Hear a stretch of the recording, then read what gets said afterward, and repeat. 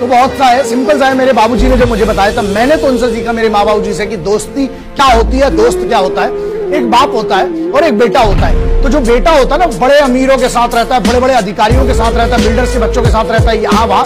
तो उसका बाप बोलता बेटा, कहाँ घूमता रहता है? बोले, पापा, आपका तो कोई दोस्त नहीं है, आप क्या जानो कि दोस्ती क्या होती है? We chill generally we enjoy this and that सब बताता है। उसका बाप फिर क्या बोलता है, एक दिन बोलता है सुबह आता है, बोले, बेटा, तेरे बड़े बड़े यार हैं, तेरे बड़े बड़े दोस्त हैं, बड़े अमीरों से तुमने दोस्ती की एक काम कर, मुझे दस हज़ार रुपए चाहिए, मुझे ला के देगा। आज मेरा एटीएम नहीं चल रहा है ये वो। वो लड़का जाता है, बोले, पापा just small thing I get that money within second ऐसा करके चला जाता है, पूरा दिन घूमता है।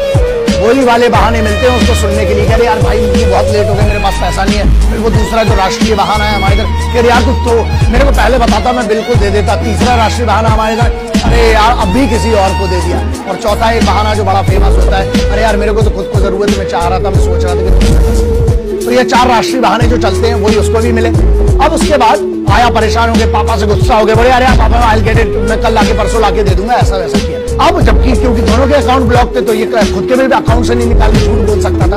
उसका बाप उसको रात को दो ढाई बजे लेके जाता है। बोले, चल बेटा। तो छोटी सी गाड़ी से लेके जाता है। बोले, यार, पापा यार, तुम कैसा करते हो? कहाँ लेके जा रहे हो मेरे को तीन बजे? बोले, कुछ नहीं यार, आप कहीं पे लेके चलता हूँ। तो जाता है एक गली में जाता है, वहाँ पर एक दरवाज़ा खटखटाता है। तो जब वो दरवाज़ा खटखटाता है तो बूढ़ा उसके पिताजी की उम्र का एक आदमी आता है, वो और उसको देखकर चला जाता है। जब वो देखकर चला जाता है तो ये लड़का बोलता है, अरे यार पापा, ये कौन टाइप का दोस्त है आपका? किस टाइप का दोस्त है? इसने आपको देखा और ये अंदर चला गया।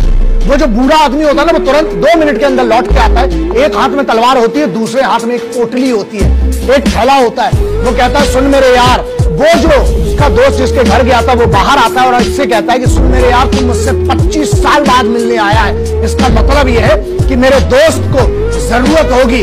ये बात तो पक्की है।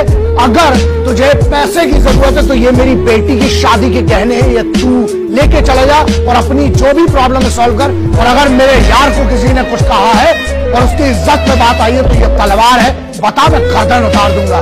तो इससे ये सीख मिलती है जो मैंने सीखी थी कि एक बनाओ साला, लेकिन ऐसा बनाओ जिसको तुझसे ज़्यादा तेरी तकलीफ़ के बारे में बताओ एक ऐसा यार बनाओ, जब तेरे माँ बाप को ज़रूरत हो, तेरी बहन को ज़रूरत हो, तेरे बच्चों को, तेरी बीवी या तेरे परिवार में किसी को भी ज़रूरत है, जब तेरा बुरा वक्त हो ना तो तेरे आगे वो आके खड़ा हो जाए। तो ऐसा है दोस्त, अब आप देख लो, जैसे मेरी बात है मैं बहुत सिंपल हूँ दोस्त। मैं एक शेर की दोस्ती पसंद करता हूँ।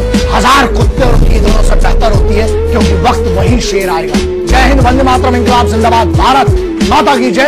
ख्याल रखो अपना, देश को बचाओ, किससे? वतन के अंदर बैठे हराम खोर गद्दारों से।